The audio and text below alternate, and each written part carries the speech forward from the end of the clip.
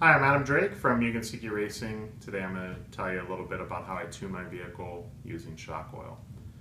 So just a general rule of thumb, when running a lighter or thinner shock oil, the vehicle will be a little bit more responsive, uh, react a little bit quicker, and also accelerate through small bumps better.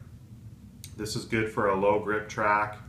Um, and the opposite of that is if you're on a high grip track, you may want to run a little bit thicker shock oil.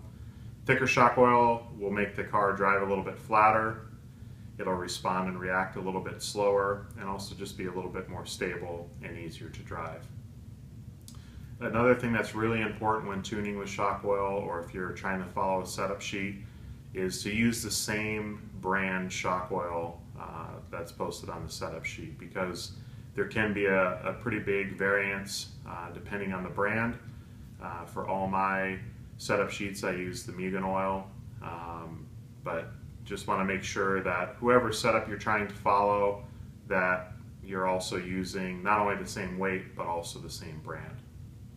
So individually, if you run a lighter oil in the front, it'll make the vehicle a little bit more aggressive off throttle.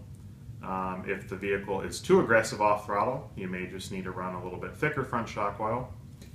In the rear, a lighter shock oil will increase forward drive, but it can also, if the oil's too light, make the rear end um, kind of wiggle and not have as good a drive. So it's, it's very important to have a good balance both front to rear and also to adjust your shock oil if there's a drastic change in temperature to make sure you have that good balance.